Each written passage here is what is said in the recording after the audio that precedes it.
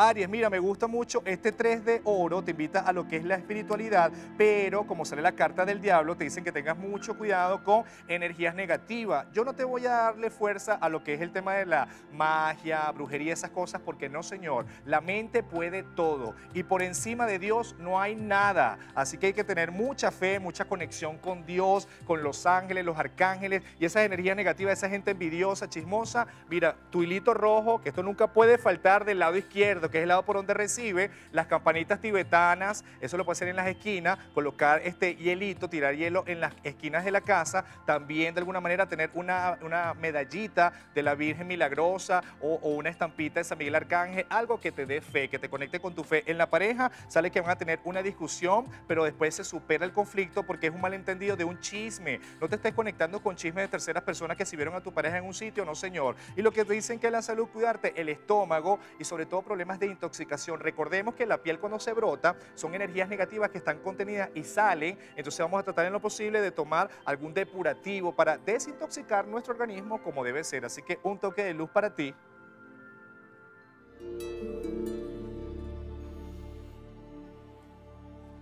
Y la carta que te corresponde es la carta del enfoque. Enfocar, enfocar. Cuando colocas tu intención y tu atención en lo que realmente deseas, créeme que eso se va a dar. Eso se va a cristalizar porque es mente sobre materia. Debemos entender que cuando tú proyectas desde el corazón y visualizas desde la mente, cuando tienes esta conexión es como un anclaje, un engranaje perfecto para que esa situación se pueda dar. Lo importante es que lo sientas, que lo creas y que entiendas que eso te lo mereces y que eso está dado para ti porque el universo siempre te va a dar los mejores regalos de tu vida.